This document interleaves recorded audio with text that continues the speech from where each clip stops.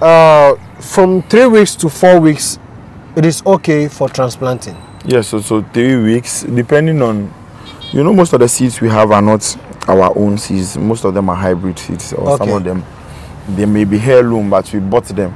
Okay. So you would have to let it acclimatize with your weather condition. Okay. So we started to put it in the sun very early. Okay.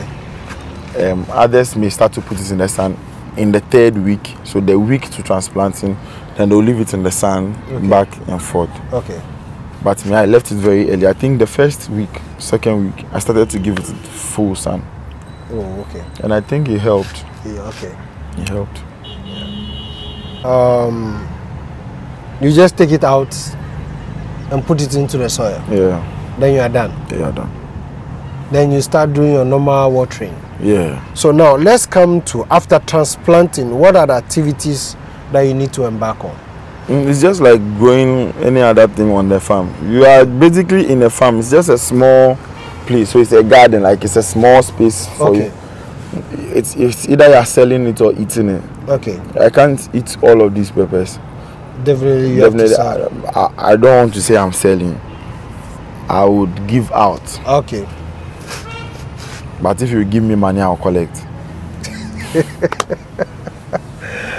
But Okay. uh, it's it's like it's like I said, it was a training session for Okay. for people to come and learn. So Learn. It's like a journey. I told them it's, it's a journey for us to for it's a journey for about four months with me Okay. and them where we are going to learn from each other. Like Okay. I'm not going to learn only farm.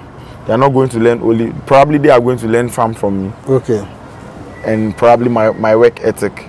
Okay. You know. I work sometimes I stay here till about eleven PM. From morning to 11 p.m. Not from morning necessarily, but By I, yeah. okay.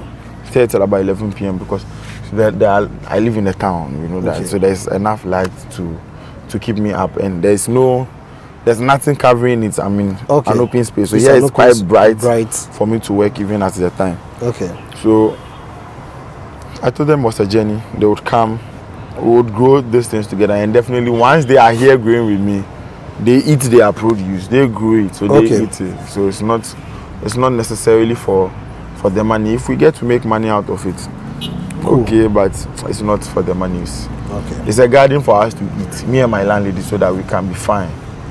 We won't buy anything again.